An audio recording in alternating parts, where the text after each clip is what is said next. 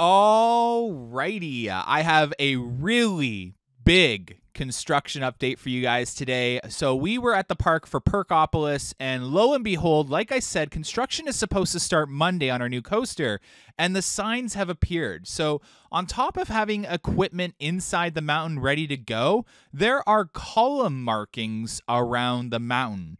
Um, and they're really interesting, the sequence of numbers. So it definitely shows a path of the coaster. Um, but I want to talk to you guys about something. So, if you've been paying attention, I talked about a certain video that I filmed on my drone that I didn't want to showcase. And I told you guys that the coaster was going to come out of the Guardian, underneath the Guardian lift hill area where the washrooms or entrance to the haunted house is and head towards Extreme Skyflyer. So, to back up those claims are these markings that I'm about to present to you. So, I'm going to show you guys everything we saw, and then we're going to go into detail on a map of the map that I made of all the column markings so far. So, as you exit that, um, underneath Guardian's Lift Hill, you're going to see these markings. The first set is 159A and B. So here is 159A and B. Um, that is the first set of markings that we see, or the furthest number of markings that we see. So I want you to remember these numbers. So then we have a column set of three columns 157A, B, and C. Um, this is just out front of the entrance to Guardian on the opposite side as you enter the International Showplace Theater. Those fill 1.20 and different numbers that you are seeing are the drill bit um, sizes or the depth. Um, so I don't know in detail yet. I am waiting on uh, confirmation from someone that works in construction what those fill numbers could be. But as you can see here, I'm trying to show, show an overgeneralization of the markings so far. They then vanish. So we looked everywhere to the best of our ability. I will continue to look um, everywhere for any sort of set of sequence, and we couldn't find it. But they continue again in the Pizza Pizza um, outdoor seating area. So you'll see that in a second. But I what I want to talk to you guys about is Guardian is still down. It is not operational. It's not uh, open, but the lockers have been removed. And um, what I want to talk about too is um, something they're doing to Thunder Run that might point towards something else as well. So Thunder Run is having what looks like an, a, a construction fence going up, but it's not for the coaster. My assumption is that they're going to build a um, kind of like an area supervisor office up there, an extended one, and they're going to remove the one in the Guardian area because they might connect the exits of Guardian and this new coaster if the entrance and exit, the station is in the mountain. That's just an assumption of mine.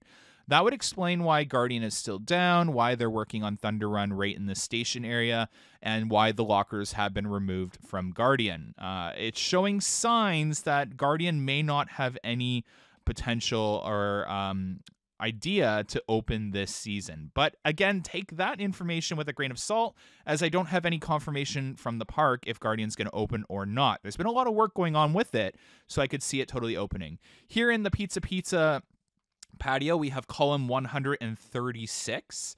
Um, so that's another marking. So what I wanted to talk about is we go from column 157 at the entrance to Guardian to column 136 in Pizza Pizza's patio. Now, what that tells me is there's a lot of missing columns, which means there could be some turn elements and some sort of like uh, kind of interaction elements going on before we get into the Pizza Pizza area. So here they continue. We have more markings heading out towards Extreme Skyflyer. Now, if you remember, I did tell you guys that there was some sort of weird turn that comes out of the mountain, and then it does a straightaway towards Extreme Skyflyer. And my prediction is it's going to do some sort of grand element at the front gate area, and that's why Extreme Skyflyer was removed. Um, it is starting to look that way, so fingers crossed um, that this is what I am forecasting because this looks like a really exciting coaster. And for those of you that are still paying attention, I am predicting an Intamin. Now, I might be able to have more concrete information very shortly, early next week, about the manufacturer. So here we have another column. Um, right near the end of the patio for Pizza Pizza as it heads towards Extreme Skyflyer. And then I'll tell you the markings disappear. So we have no further continuation. Obviously, there's going to be more as they work throughout the week. Um, but yeah, I'm really excited. Things are starting. Again, I told you guys construction would start Monday, and it's looking like that's the case. So this is just me looking for any further markings, and I don't see any signs of them. So very excited to see how this construction project plays out. Um, I will say um, that the bolts on the area where the coaster might be coming out of on Guardian are marked for removal.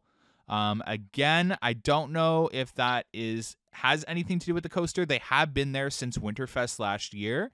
Um, but typically, it, it, could mean that column needs to get removed, uh, like they did with Vortex, to make way for constructing this new coaster. So that could be a, a, an outcome of those markings on those support columns. Um, but again, that is a, a, a, reach, so take that with a grain of salt. Um, and then I just wanted to go over that we do have the pre installation of some sort of footings in the Alpen area. So we know the coaster is going to go from extreme over to Alpen, passing through the mountain one or two times, depending on what it does. I will say it is showing signs that what I saw and what I know about the coaster re entering the mountain and coming out underneath Guardian's Lift Hill is definitely looking a lot more plausible um, with some backing behind it. But again, we'll have to wait and see. Um, Tiny Tom's is coming along nicely, but here is that construction fence in Thunder Run's area that I wanted to show you guys. Um, so we'll have to see what this turns out to be as well. Anyways, thanks so much for watching today's construction update. Um, can't wait to film more for you guys. Things are really going to start progressing real quickly now. Anyways, thanks so much. Have a good one, guys. Bye.